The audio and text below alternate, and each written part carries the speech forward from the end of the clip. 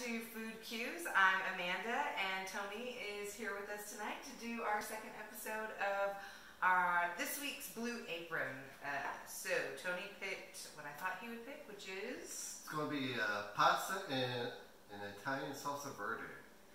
So it has uh, mushrooms and, and a, uh, I don't know how to pronounce this. Grana one. Padano cheese. Yeah. So let's get. It's kind of tough. Yeah, you're not Italian. Not Italian. My dad always thought that you were. My dad would always go, "Hey Tony, I got a guy that needs to swim with the fishes," and I'd be like, "Dad, he's not Italian. He's German, right?" Yeah, German. But anyways, the cheese is kind of like a, uh, uh, to me it looks like a Parmesan cheese. Yeah. It's like a hard Parmesan cheese that you grate, so. so This was like that a Romano cheese. Little, ti- I don't know if you saw our unboxing, but it was like the littlest, tiniest wedges, grana padano cheese. I'll, I'll show you real quick. Uh, tell them what else is in the bag, honey. Okay, so what else we got? We got a, uh, what's this? It has I hope you a uh, can see that. crushed red peppers. And then it gives us a uh, whole thing of a sauce. So I'm going to guess it's probably like a basil oil, olive oil, I imagine, uh, has garlic, uh, other Italian herbs and spices. But um, this one should be a pretty easy meal to do. All, that's all we have. Um, mascarpone cheese, which is good. It's like Italian cream cheese. Yeah. Your favorite. mushrooms. So we got Cornetti mushrooms, and uh, they look like they probably do need to be washed, or at least take a, uh, a damp wipe, you know, a damp uh, paper towel, wipe all the dirt and grub off of it, and then uh, about a uh, half pounded pasta, spaghetti pasta. So. Looks good. hmm Let's talk about how we're going to do the Alton Brown pasta cooking method tonight. And we have a nice 12 inch skillet, and that way the spaghetti lays in there flat. Now, normally, you know, Tony will put a little more water in it. Alton says to just cover it by one knuckle. Look at all the starch already coming out. I wish you could see that. Yeah. Probably can't see that. I can't see that. Maybe Tony will start wearing his uh, GoPros so you guys can get some, some Yeah. live shot. We'll have to figure out some video editing and stuff like after that. So. All right, and so Maybe just that little picture. tiny bit of water, Maybe. and we'll go on high. We'll salt it in just a little bit for flavor, and then let's check out our direction. I, Mm. let, let's see. I, if I was going to predict what this recipe without looking at it, Uh, I would say we slice the mushrooms. You know what this doesn't have? what? Garlic, but it does. I bet you there's garlic in this sauce. It looks like there's garlic in the sauce. I'm going to vote for extra garlic in it just because I know us and we love garlic. It's So, It's true. We like garlic in the sauce. Do you like garlic? If you like love garlic and always add extra garlic to whatever recipe is, comment down below and tell us. All right. So I'm gonna say saute the mushrooms, mhm. and then we're gonna add some garlic, and probably the uh, crushed red pepper, Mhm. and then Finish the sauce with the with the two cheeses, and like wham bam, thank you. ma'am? okay, so more garlic. Uh-huh. Okay. Let's do mushrooms. You want to wash them or what? Mm, yeah. Uh, we'll, we'll, uh, start on that. Oh, he's gonna do the fancy paper towel. Do you guys like my feather hat? So it's really like a, like a headband. I got it at the Renaissance Festival, and since yesterday was Halloween, I wore this. Actually, I added it to my witch hat and answered a few trick or treaters before we had a storm kind of blow through. And then I had on this. What is this color? Burgundy. What you call this burgundy? Oh, sorry. dark purple plum, maybe dark plum. We started to make dinner, I had left it sitting here on the island, and I was like, I'm wearing it. I like it. It makes me happy. So if you look in the back and you see the back of my hair, you know, you guys, it's up in a chef hat all day, and then I come home, I just pull it back for you guys. I'm thinking just one, maybe two extra cloves of garlic. These are really big. What do you think? I see garlic in there. Uh, that should probably be pretty good. Okay. I like that.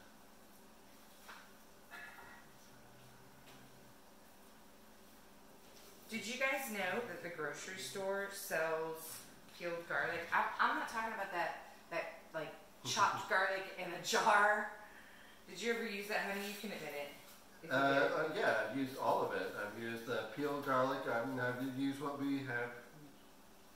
you know what I'm talking about? The garlic, the garlic, Oh, yeah. the garlic in a jar. Garlic and this, yeah, just you know, I said like a saved in like a vinegar and stuff like that, which it works. It works. It is not as good as fresh. No, no, but it's easy. And, It is easy. And But in you a pinch, no, it works. Fresh garlic, you can't beat it. All right, totally unnecessary to take off the root. Just being extra. I don't get that. Hmm. And I always chop out that little root part. That I don't know for whatever reason, it just doesn't. Break down. Yeah, it, no, it probably does break down. I I just don't like it. So uh, Have you seen one of the, these little garlic tools, you guys? I love it. Ooh, that was loud. So I was a chef. I was the resident chef for a cooking school, uh, one of the sur la here in the country. Obviously in Texas. Well, maybe not obviously. Maybe maybe we live somewhere else. They don't know. I don't know where we live. Uh, let's see. So, kitchen supply store, if you don't know. I taught people how to cook for a living. Now I teach public school. Anyway, this is a garlic press, and I love all of these pieces. They go together like this. My favorite part of this is this little part comes off, and it cleans off the part that pushes. You just put the garlic in here and go.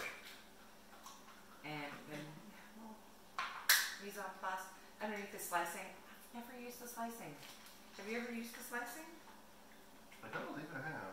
It's always been the smaller one for the garlic, or you could also use for ginger as well. Oh yeah. It works for very well with that. If you, you want to make like some, uh,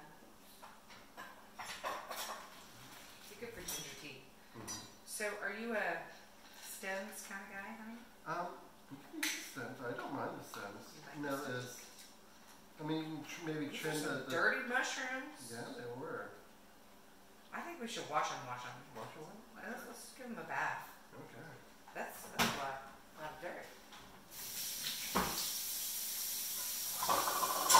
Alton Brown, I hate to mention his name so often, but he taught us that they can even be soaked in water for up to 20 minutes, and they're not going to soak up that much water. It's a myth. Culinary myth that you can't wash mushrooms, Yeah. But you want stems sometimes, so we'll put them.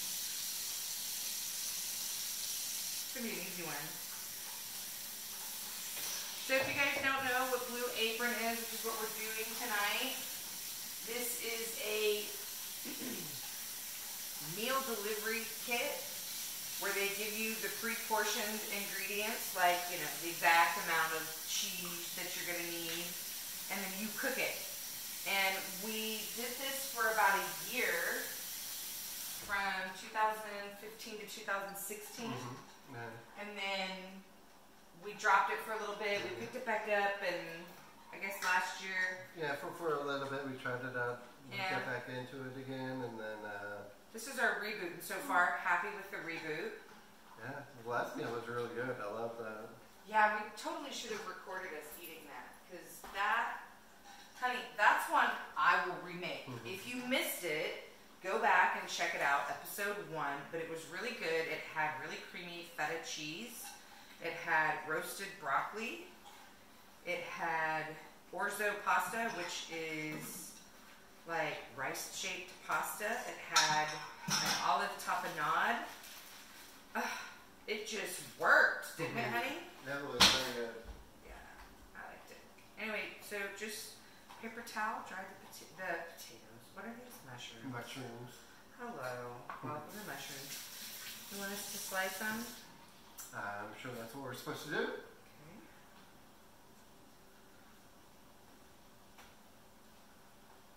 Did you put any salt in the water of the pasta? I haven't. You want to do that? Yes. So, hope you guys have been having a good week. Today's the 1st of November. I cannot believe this year is just, we're just running towards the end at this point. Let us know if you have any suggestions that you might like us to cook for you. Maybe some holiday recipes. I'm definitely, we're going to be going to Florida to see Tony's parents, and we've offered to cook Thanksgiving dinner. So I'll definitely be cooking some traditional Thanksgiving Mhm. recipes. So if there's something you want to see, let us know in the comments.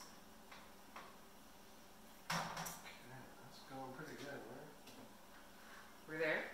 I mean, I mean, it's not done. It's probably takes a little bit longer for that. Okay.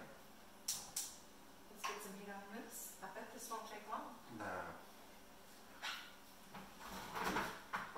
We just gotta saute the mushrooms and put the other stuff big quick line. Yeah, I like that part. They did update like the time. I think we were at right at like 30 minutes on our last video, but I know we talked for a little bit. Right. Still, I'm good with 30 minutes, but 20 minutes is even better. Mm. So I'm actually going to put this garlic in cold, which I would normally not do, but I we only have a couple of ingredients here, so I want to maximize the flavor of the garlic by infusing the garlic, and if it does that slowly in the olive Mhm. oil, it'll permeate the olive oil a little bit more, which then gets soaked up into the mushrooms, and I think maybe a little more olive oil. Just because Okay. mushrooms are like little sponges. And what does it say to do with the ch- this right here? Is this supposed to be grated or? Yeah, look what I got for you right here. Oh, break up the microplaner. Yeah. Okay. Just move that over. Does Wanna that do will that? work? Yeah. Uh, we'll start on that.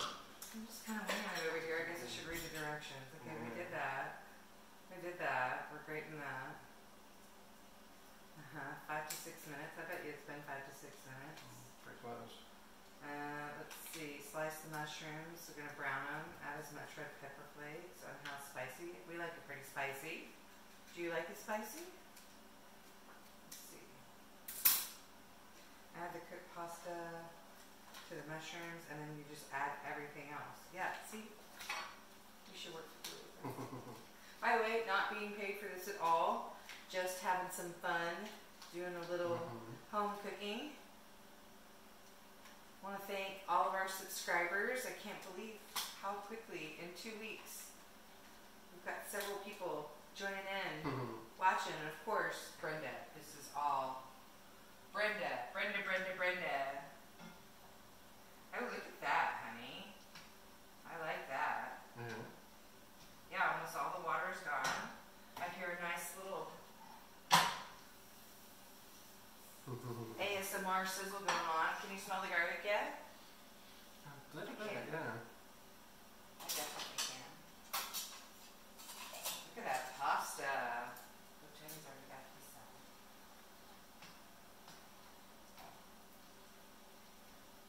I'm actually gonna stop right here. Okay, so I should try to show them this because I bet you they think that woman is crazy. You guys, check this out. All the water is gone, and what's left is a little bit of, I mean, like soupy, super starchy water. And I didn't have to drain the pasta. It didn't have to wait for everything to boil. My pasta is perfectly cooked. Gonna combine it with these mushrooms here in just a minute. I think I'm ready for mushrooms. Yeah, go for it. Well, you're kind of doing that, so I'll wait. Just my garlic to burn. Okay, I'm gonna sneak in behind you, Mhm. Okay. Gotta go low. It freaks my students out. They've been um, sauteing this week. Oops. And when I put my hand near the hot oil, they get all like, ah! I'm like, you guys, you're so silly. Don't mind me. Just mushrooms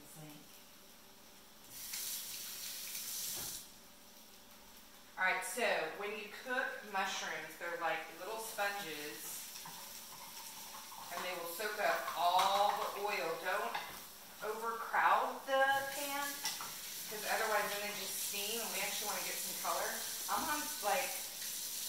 and a half out of seven. And I kind of just cranked it up a tiny bit. Five on my gas stove. And what happens is, see, remember I got the oil to taste like the garlic, so it's gonna soak it all in, and when it gets done cooking, they just kind of spit it back out and make a nice squeaky noise. So, give them all some space. Nice single layer. Just let 'em be.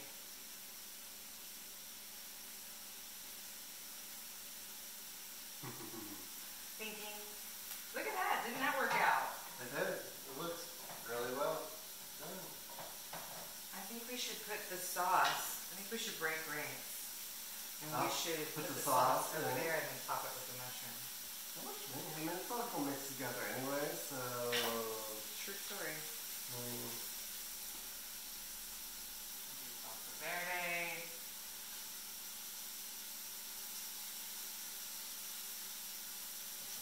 I like that it's all pre-portioned. That part's nice. mhm. It looks really fresh though.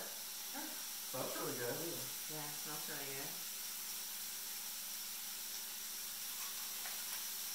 I have been known to just take a spoon and just eat that cream cheese. It's like the richest Mhm. cream cheese in the world. I am on the struggle bus over here with the nice. I'll put a little of the mushroom. Oh, you know what else you noticed I didn't do? What didn't you do? I did not salt the mushroom. Did How you- am I to salt the mushroom from? Uh, because if you salt the mushrooms right from the beginning, the mushrooms have a tendency to shrivel up. So you want to kind of end up with start with tiny mushrooms. Well, end up with tiny mushrooms too, but but if you do it at the end, you keep the shape a little bit better. So. Doesn't it smell great? mm-hmm. wonderful. I'm gonna try it. Alright, here we are. Mm. Mm. It's got that salty and crystally texture, dry. Mm-hmm. That looks really, really good. Mhm. Let's stir this. We'll put in the creme fraiche. Okay.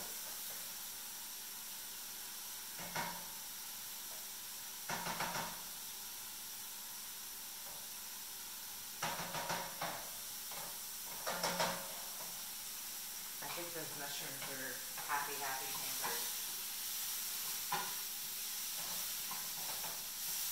Did you pull out the salt and pepper? Pepper. Or Sure. grab the salt, you stir.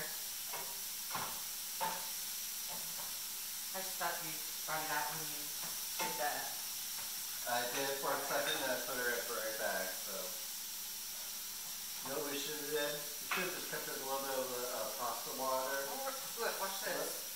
Watch this. Many deep waves put together with a little water? Yeah. Okay, that work? Like that. Like that, and dinner's ready. Huh. That I was a easy really one. wish I would have looked at the time when we started because that was super easy. Alright, so cheese. Some pasta bowls. Mhm. Impostabilities. Do we want any more crushed red pepper or did we use it all? No, I think we used it all. There we go. Let's use it. There we go. Do you want a little black pepper or no? Of course. Of course.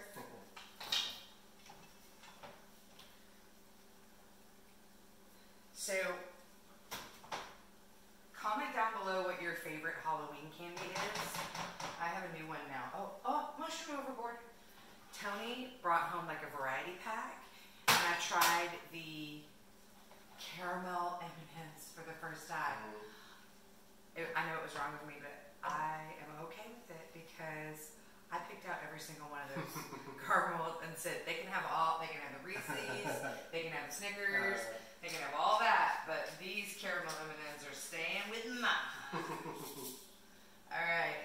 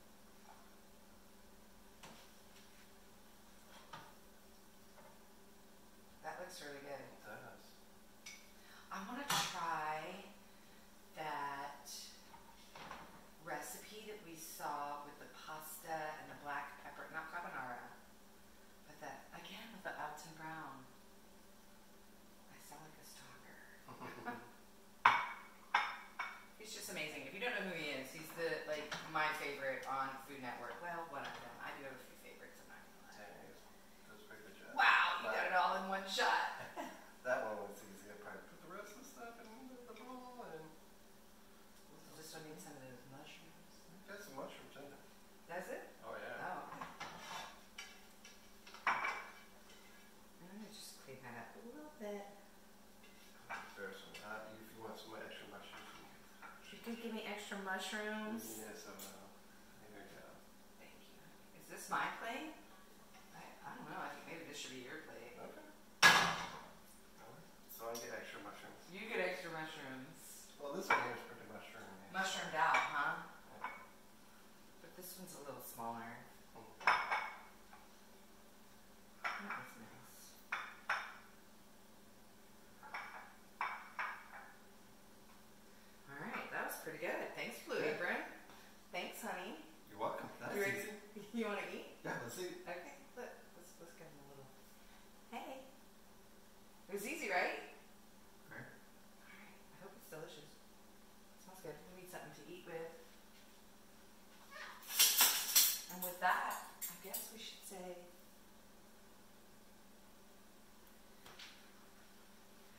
for watching. Mm-hmm. we had a lot of fun cooking tonight. Uh -huh. I hope that you enjoyed the video. Don't forget to like and subscribe, comment. If you have any suggestions or things that you want us to cook, let us know. Hey, have a good night.